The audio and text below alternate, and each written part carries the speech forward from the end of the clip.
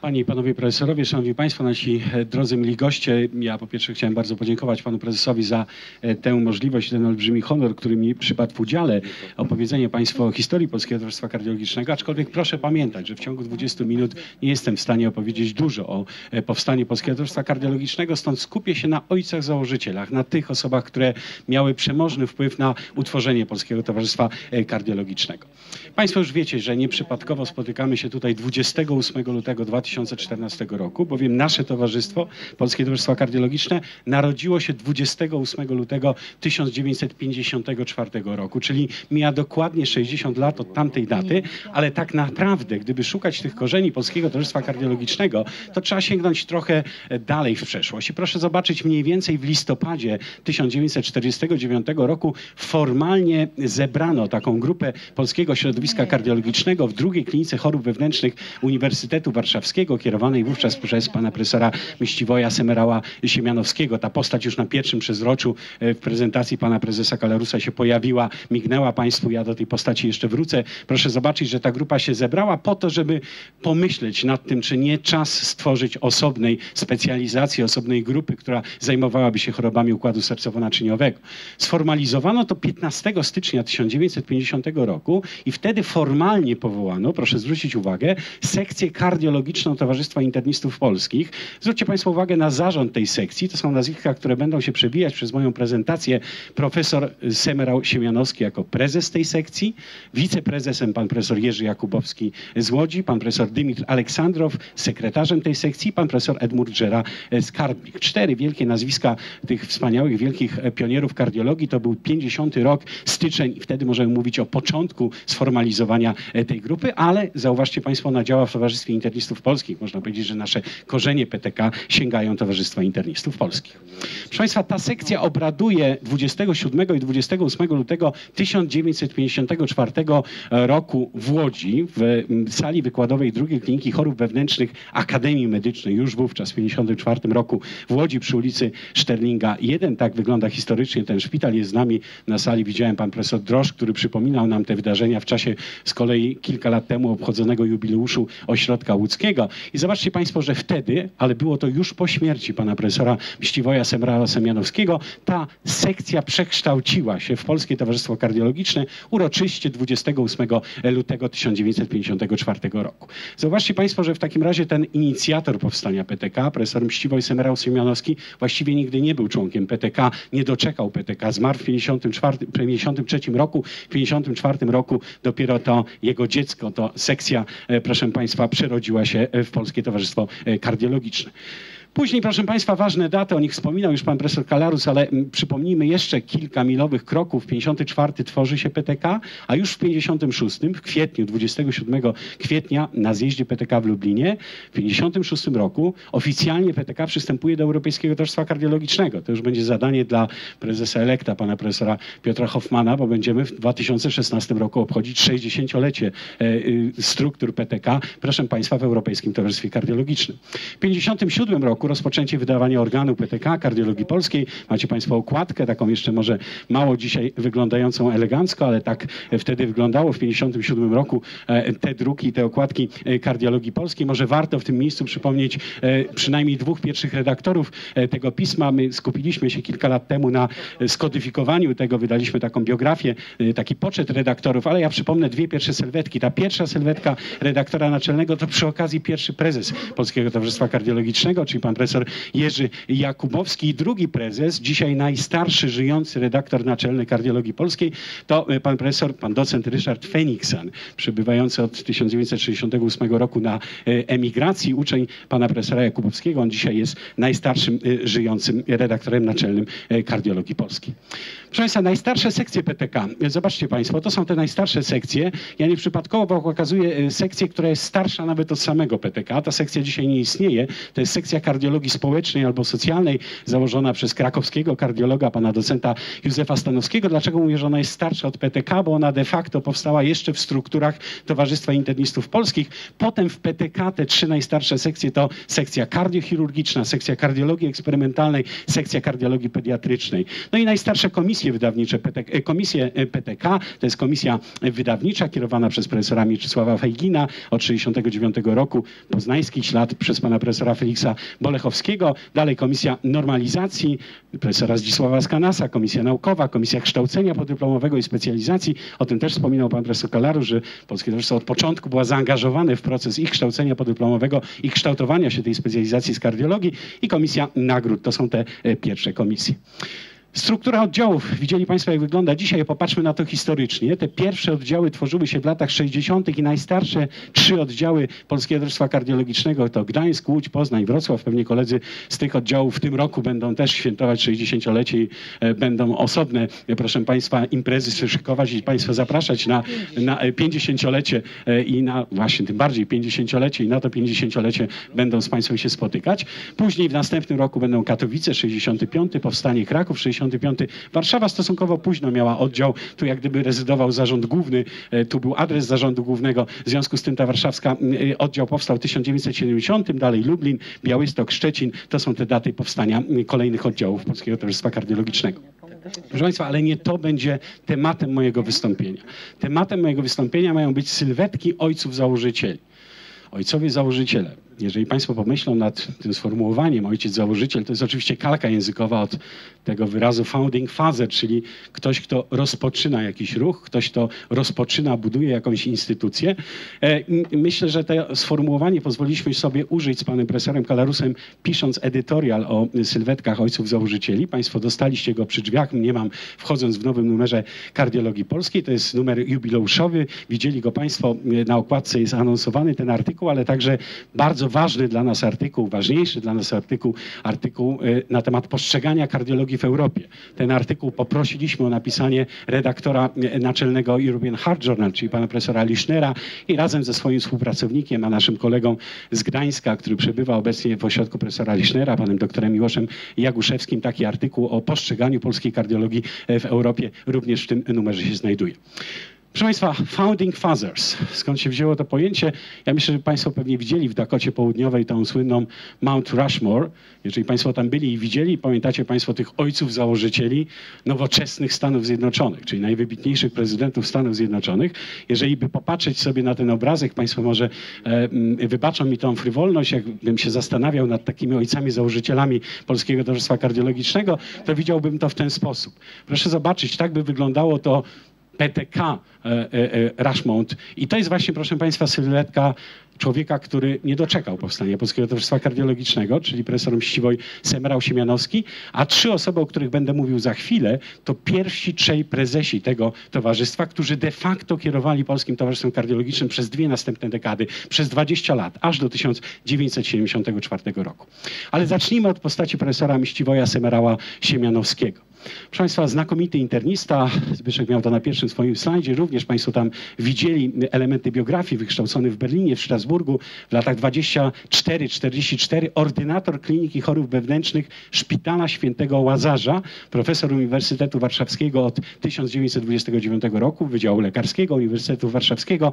Po wojnie, jak większość profesury, no, uzupełniał, można powiedzieć, braki kadrowe w różnych ośrodkach. Był przez chwilę szefem o, y, kliniki w Łodzi, później w Gdańsku w 1948 roku powrócił do Warszawy i tutaj aż do śmierci w roku 1953 był kierownikiem właśnie tej drugiej kliniki chorób wewnętrznych e, Uniwersytetu Warszawskiego, jeszcze przed przekształceniem e, Wydziału Lekarskiego Uniwersytetu Warszawskiego w Akademię Medyczną w Warszawie. Proszę Państwa, profesor Semerał Siemianowski to przede wszystkim ojciec kardiologii w sensie wychowawcy. Proszę zobaczyć te nazwiska jego uczniów. Ja będę mówił dużo o e, szkole pana profesora Żery, o szkole profesora Askanasa, również szkoła profesora Aleksandrowa, następna wielka, wywodzi się jak gdyby z tej tradycji Semrała Siemianowskiego. Może na moment zostanę tylko przy szkole Aleksandrowa, bo z tej szkoły wywodzi się dwóch prezesów Polskiego Towarzystwa Kardiologicznego. Jednego macie państwo za stołem prezydialnym, a więc też warto wiedzieć, że to jest ta szkoła Aleksandrowa wywodząca się bezpośrednio od Semerała e, Siemianowskiego. Proszę Państwa, nie wiem, czy Państwo jesteście zwolennikami teorii e, genius loci, że może nie tylko od ludzi to zależy, ale także od miejsca i czasu. To miejsce i czas jest bardzo ważne w naszej opowieści, bo proszę zauważyć, że wiele z tych działań zmierzających do powstania polskiej kardiologii koncentrowało się w szpitalu świętego Łazarza w Warszawie to tutaj była klinika kierowana przez profesora Mściwoja Semerała Siemianowskiego, to tutaj, proszę Państwa, no, była ta plejada uczniów, którą za chwilę Państwu e, pokażę e, i myślę, że warto e, powiedzieć kilka słów o tym, o tym miejscu. Tego miejsca już w Warszawie nie ma. Tak wyglądał ten klasycystyczny budynek, przepiękny budynek, proszę Państwa, Szpitala Świętego Łazarza, budynek projektu Marconiego, nowoczesny, jak na tamte czasy, znakomity ośrodek kliniczny, można powiedzieć, że bardzo dobra klinika wówczas w latach e, przedwojennych, nowoczesnej interny zmierzająca w kierunku hematologii, kardiologii, takie były za zaawansowania, takie były zainteresowania tego ośrodka. Tutaj powstawała. I myślę, że nieprzypadkowo może ta nasza konferencja odbywa się dzisiaj w papie, pokazałem Państwu zdjęcie. To jest zdjęcie przedwojennej Warszawy w 1939 roku. Ten pub, czyli to, gdzie teraz Państwo jesteście, jest tutaj mniej więcej. Tu, gdzie moja kropka na ścianie, czyli tu w tym miejscu jesteśmy, proszę Państwa. Proszę zauważyć, że to jest skrzyżowanie Nowego e, Światu z Alejami Jerozolimskimi. Tu ten masywny gmach do dzisiaj e, przetrwał nawet powstanie i okupację. To jest e, Bank Gospodarki Krajowej. Ten masywny gmach to jest Muzeum Narodowe.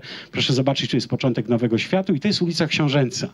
Dzisiaj można powiedzieć, to jest jedna ziejąca jeszcze rana po II wojnie światowej, bo macie Państwo i z jednej i z drugiej strony park w chwili obecnej. Wtedy, w 1939 roku, to było ściśle zabudowane centrum i ten mały gmach, który Państwo tutaj widzicie, proszę zobaczyć, to są zabudowania Szpitala Świętego Łazarza. Tu działa mściwość Semrał Siemianowski. My jesteśmy jakieś 500 metrów w linii prostej od tego miejsca, gdzie rodziła się, można powiedzieć, idea powstania kardiologii, nowoczesnej kardiologii i Polskiego Towarzystwa Kardiologicznego.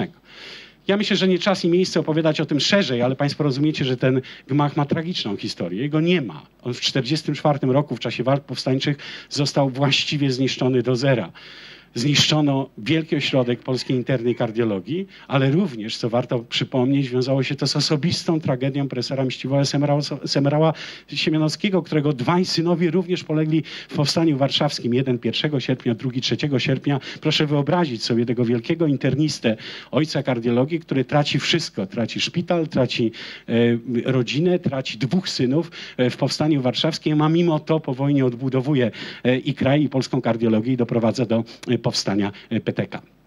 Proszę Państwa, powiedziałem o panu profesorze Semerał Siemianowskim. Teraz popatrzmy na tą pozostałą trójkę, którą zaliczyliśmy z panem profesorem Kalarusem do tej czwórki najważniejszych ojców założycieli Polskiego Towarzystwa Kardiologicznego. I to są znowu wielkie postacie. Co ciekawe, wszystkie się przewinęły przez klinikę profesora Semerała Siemianowskiego. Pan profesor Edmund Żera był uczniem profesora Semerała Siemianowskiego. Pan profesor Jerzy Jakubowski jeszcze przed wojną e, jako Jerzy Muszkaten-Blit również był asystentem, proszę Państwa, Szpitala Świętego Łazarza w Warszawie i profesor Zdzisław Askanas również, proszę Państwa, asystował e, w tym szpitalu świętego Łazarza u profesora Semerała Siemianowskiego. Proszę zobaczyć nieco inne biografie, nieco inne postacie, ale wielkie postacie polskiej kardiologii. Jerzy Jakubowski, lewicowy działacz SDKPIL-u, więzień Cytadeli Warszawskiej, zesłaniec carski, kończy y, studia, proszę Państwa, w carskiej Rosji, wraca dopiero po uzyskaniu niepodległości, jest właśnie asystentem szpitala świętego Łazarza w Warszawie y, przed 1939 rokiem.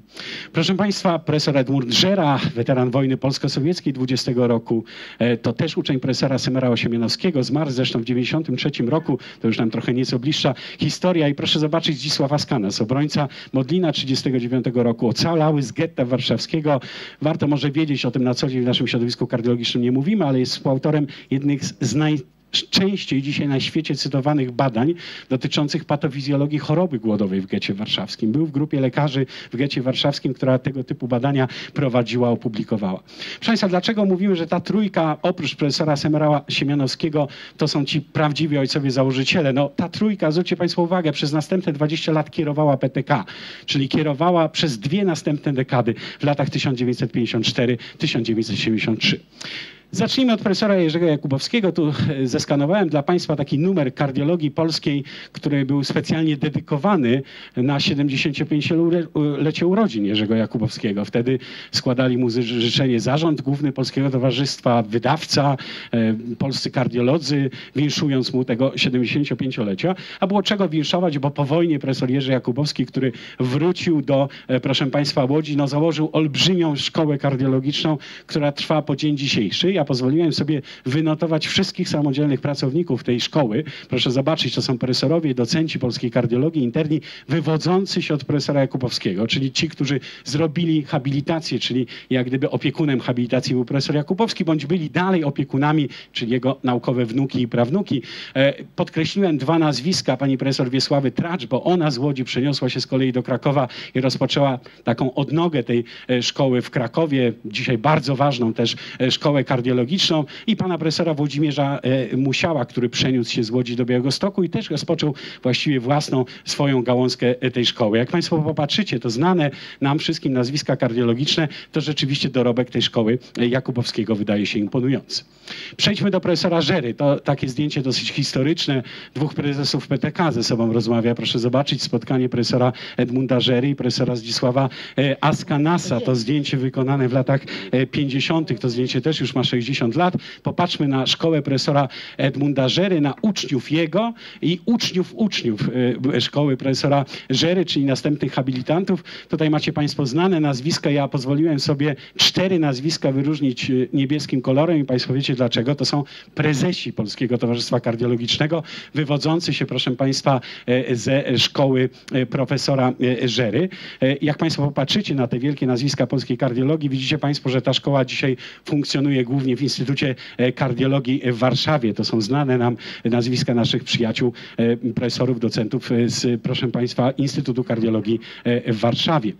Jak powiedziałem, te zasługi Szkoły Żery są wyjątkowe dla Polskiego Towarzystwa Kardiologicznego, bo tu pada rekord, mogę powiedzieć, że ta szkoła dała rzeczywiście najwięcej prezesów Polskiego Towarzystwa Kardiologicznego. Razem z prezesem Alektem macie Państwo pięć postaci prezesów Polskiego Towarzystwa Kardiologicznego, którzy wywodzą się ze szkoły pana profesora Edmunda Żery. No i w końcu trzeci z nich, e, trzeci w kolejności, bo najmłodszy. Proszę zobaczyć, że e, ta data urodzin profesora Askanasa no, mówi, że z tej trójki był najmłodszym e, asystentem profesora Semerała Siemianowskiego, zmarł w 1974 roku. To też bardzo duża szkoła, to takie drzewo genealogiczne znowu, proszę Państwa, wykreślonej tej szkoły, czyli kto u kogo, kto kogo opiekunem habilitacji był. Jak Państwo widzicie, niestety na biało są zaznaczone osoby już zmarłe. Widzicie Państwo, że właściwie nie żyje już żaden habilitant E, proszę Państwa, e, profesora e, Askanasa, kardiolog. Ostatnią osobą, która zmarła niedawno był pan profesor Stanisław Rudnicki. Tak wygląda ta szkoła i ta szkoła też ma duże zasługi dla polskiej kardiologii, bo proszę zobaczyć, wydała dwóch prezesów Polskiego Towarzystwa Kardiologicznego. Jest tutaj również pan profesor Leszek Ceremurzyński.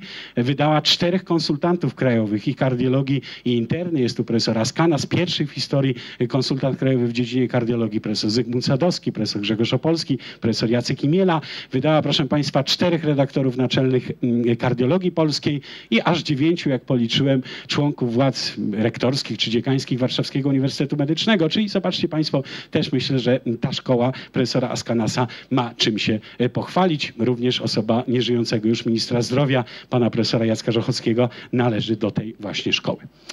Proszę Państwa, tak by wyglądało tych czterech ojców założycieli, aczkolwiek pamiętacie Państwo, że de facto tylko trzech było członkami Polskiego Towarzystwa Kardiologicznego. Profesor Semerał Siemianowski, jeszcze raz przypomnę, rok przed założeniem e, Polskiego Towarzystwa Kardiologicznego zmarł. A to są prawdziwi ojcowie założyciele według tej naszej definicji, czyli proszę zobaczyć, pierwszy skład zarządu Polskiego Towarzystwa Kardiologicznego wybrany w 1954 w Łodzi. To było 12 osób według protokołu tego zebrania wybranych, proszę Państwa, właśnie w Łodzi na tym zebraniu w auli e, szpitala Stedlinga.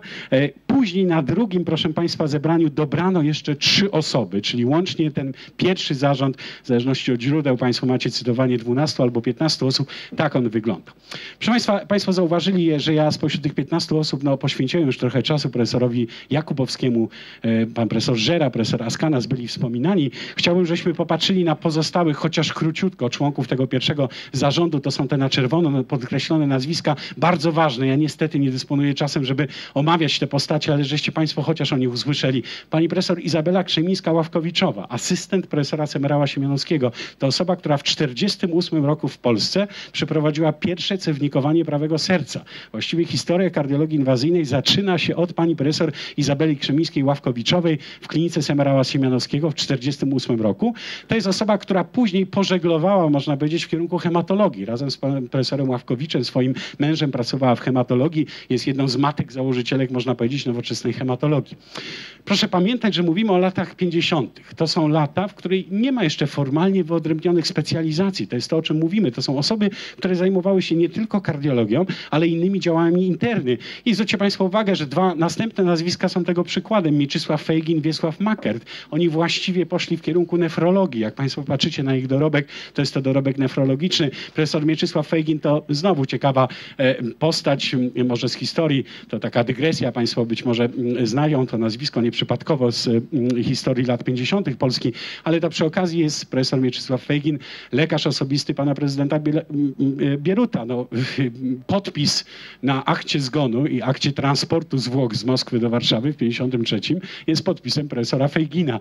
Może taka e, mała e, e, dygresja historyczna. Proszę Państwa, następne nazwiska. Zobaczcie Państwo, pani profesor Klementyna Rachoń zajmowała się neurologią. Była później kierownikiem kliniki chorób zakaźnych w Warszawie, czyli też bardzo daleko od kardiologii, ale wtedy w tej internie jeszcze jak gdyby takiego podziału nie było. Była członkiem założycielem Polskiego Towarzystwa Kardiologicznego. Pan profesor Marian Tulczyński, wieloletni kierownik oddziałów internistycznych w Białymstoku, e, w Warszawie, w Szpitalu Grochowskim, później w Instytucie Gruźlicy e, i Chorób e, Płuc, kliniki też, która ma bardzo ciekawą historię związaną z Polskim Towarzystwem Kardiologicznym, działacz Warszawskiego Towarzystwa Lekarskiego, profesor Stanisław Szelaki, bardzo ciekawa postać znowu, zarówno kardiolog, jak i założyciel Kliniki Chorób Zakaźnych Akademii Medycznej w Gdańsku i z Krakowa pan profesor Józef Stanowski. Zauważcie Państwo, że omówiłem w ten sposób króciutko całą dwunastkę, ale zostawiłem te dwa białe nazwiska, profesora Leona Tochowicza i profesora Włodzimierza Musiała, bo tej, po tej analizie szkół doszliśmy z panem prezesem do wniosku, że można ich zaliczyć do następnej dwójki najważniejszych ojców założycieli Polskiego Towarzystwa Kardiologicznego. Profesor Włodzimierz Musiał, ja o nim jak gdyby wspomniałem, pokazałem go państwu e, w szkole profesora Jakubowskiego. To uczeń następca profesora Jerzego Jakubowskiego. On kontynuował tą wielką łódzką e, szkołę kardiologiczną. Natomiast druga osoba to e, ojciec, można powiedzieć, krakowskiej kardiologii, pan profesor Leon Tochowicz. Dwa słowa o profesorze Leonie Tochowiczu. Proszę zobaczyć, trzykrotny rektor Akademii Medycznej w Krakowie, weteran wojny polsko-sowieckiej 20 roku. Habilitację ukończył na Uniwersytecie Jagiellońskim jeszcze przed wojną i może to pewne fatum, bo przez to, że ukończył, był już docentem, a w związku z tym był na liście, proszę Państwa, osób aresztowanych w ramach akcji Sonderaktion Krakau. Na szczęście nie zginął, jak wielu jego kolegów, był więźniem Sachsenhausen. E, wrócił, proszę Państwa, do Krakowa. Od 1947 roku był już profesorem, kierownikiem pierwszej kliniki chorób wewnętrznych Uniwersytetu Jagiellońskiego w Krakowie. Zajmował się miażdżycą, nadciśnieniem tętniczym, kardiologią prewencyjną, ale tak naprawdę te zasługi profesora Tochowicza dla polskiej kardiologii, Polskiego Towarzystwa Kardiologicznego to znowu olbrzymia szkoła. Zobaczcie Państwo na to, co pokazuje na tym przezroczu. To jest olbrzymia szkoła kardiologii. Pierwsze pokolenie to habilitanci profesora Tochowicza. Drugie pokolenie to habilitanci tego pierwszego pokolenia. Trzecie pokolenia to habilitanci drugiego pokolenia i tak dalej. Jeżeli Państwo popatrzycie sobie na te nazwiska polskiej kardiologii uważnie, to zauważycie Państwo, że tutaj pada kolejny rekord. To muszę y, powiedzieć, że no, ani szkoła profesora Żery, ani e, Aleksandrowa, ani Askanasa nie ma no, w swoim spisie można powiedzieć tylu samodzielnych profesorów i docentów, co szkoła profesora Tochowicza. To jest łącznie 44 osoby samodzielnych pracowników, e, proszę Państwa, e, nauki z tej wielkiej krakowskiej szkoły. Jak Państwo zresztą jeszcze raz na tą e, szkołę popatrzycie i na te nazwiska, one wszystkie działają w Krakowie, czyli właściwie ta szkoła no, cały czas jest obecna, proszę Państwa, właśnie w tym mieście. Proszę Państwa, pierwszy zarząd, powiedziałem, oprócz tej dwunastki, to także trzy dodatkowe osoby dokoptowane na drugim posiedzeniu zarządu i myślę, że im też należą się kilka e, słów. To są e, Hugon i Zofia i Hugon Kowarzykowie i Mieczysław Gamski. Może zacznę od profesora Hugona Kowarzyka. To jest też postać, która zmarła w 1985 roku, postać związana z Wrocławiem, absolwent medycyny Kolegium Medikum Uniwersytetu Jagiellońskiego w 30 roku, doktor habilitowany w 35, profesor od 46, doktor honoris causa Uniwersytetu Wrocławskiego i wieloletni, bo aż do 77 roku, kierownik Zakładu Patologii Ogólnej Doświadczalnej Akademii Medycznej we Wrocławiu. Warto to podkreślić, że nie tylko kardiolodzy zakładali PTK, ale także przedstawiciele nauk podstawowych. Był to patofizjolog, patolog, który zajmował się hematologią, proteolizą krwi, ale również, uwaga, no metodą, która dzisiaj nie ma znaczenia w kardiologii, ale wówczas była niezwykle modna, wektokardiografią. Pan profesor był członkiem rzeczywistym Polskiej Akademii Nauk. Ta wektokardiografia może w naszej opowieści jest o tyle ważna, że to właśnie, proszę Państwa, Hugon Kowarzyk wraz ze swoją Zofią, ze swoją żoną Zofią, która pracowała, e, proszę Państwa, w tym samym zakładzie, z panią docent Zofią Kowarzykową oraz z profesorem Edwardem Szczeklikiem, ojcem niedawno zmarłego e, świętej pamięci pana profesora Andrzeja Szczeklika, napisali w 1949 roku we Wrocławiu pierwsze polskie mianownictwo elektrokardiograficzne. To też bardzo ważna data w rozwoju no, naszej wspólnej dziedziny w rozwoju kardiologii.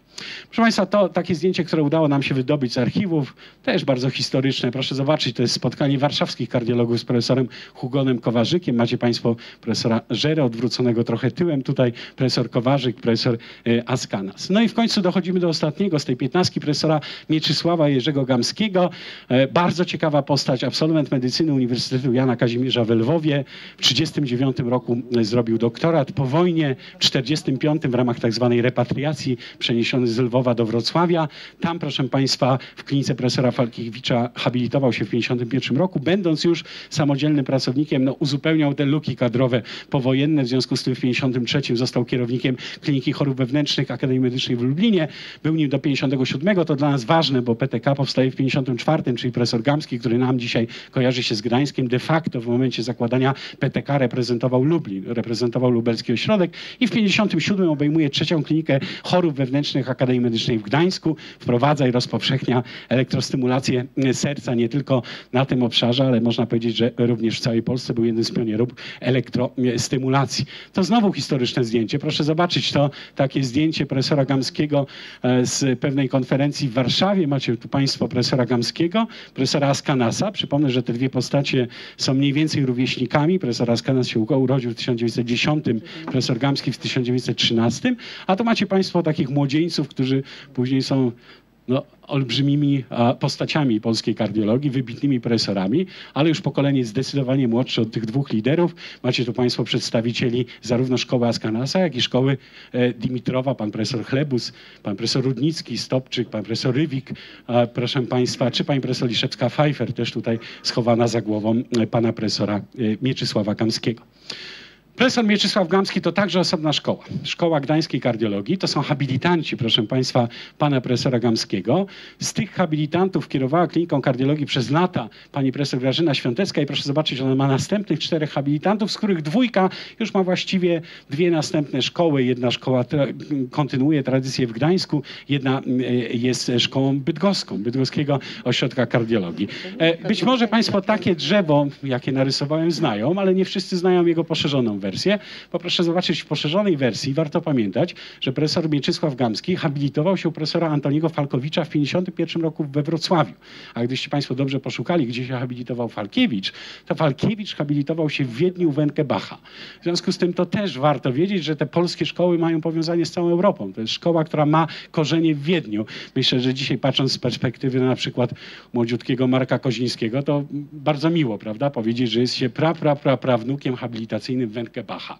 E, jak Państwo widzicie, można coś takiego zrobić i udowodnić na podstawie właśnie takich badań, nazwijmy to genealogicznych. Proszę Państwa, tak wyglądał ten e, pierwszy skład. Ja już teraz w poprawnej, genderowej formie napisałem ojcowie założyciele i matki założycielki, bo proszę zobaczyć, że oczywiście w tej grupie, tak jak mówiliśmy, była pani profesor Izabela Krzemińska-Wawkowiczowa, była pani profesor e, Klementyna Rachoń i była pani profesor e, Zofia Kowarzykowa, czyli trzy kobiety w tej piętnastce pierwszego zarządu Polskiego Towarzystwa Kardiologicznego e, się znalazły. Ja oczywiście mógłbym na ten skład zarządu też popatrzeć przez pryzmat ośrodków, z których pochodziły te osoby. Tak wyglądałaby ta mapa Polski. Proszę zobaczyć, najwięcej osób było z ośrodka warszawskiego, łódzkiego, krakowskiego. Pojedyncze osoby z Lublina, profesor Gamski był wtedy w Lublinie, Kowarzykowie z Wrocławia i profesor Szelaki z e, Gdańska, aczkolwiek ta mapa też nie jest do końca prawdziwa. To był 54 rok, bo musicie Państwo wiedzieć, że profesor Szelaki przeszedł z Uniwersytetu Warszawskiego wysłany do świeżego, nowego polskiego miasta Gdańska powojennego, żeby tam uzupełnić braki kadrowe. Kowarzykowie są z Krakowa. Oni z Krakowa zostali jak gdyby ekspediowani do e, Wrocławia. Sam profesor Gamski, pamiętacie Państwo, e, był z Lwowa, przyjechał z Lwowa. Profesor Jakubowski po wojnie do Łodzi też również e, z Lwowa przyjechał, czy, czy proszę Państwa, no, dopiero po wyzwoleniu dołączył do Łodzi. Ja myślę, że ta mapa jest ciekawa, bo jak Państwo w nią się wpatrzycie, to zrozumiecie, że tak naprawdę to jest Polska powojenna. To jest odbudowywanie kraju.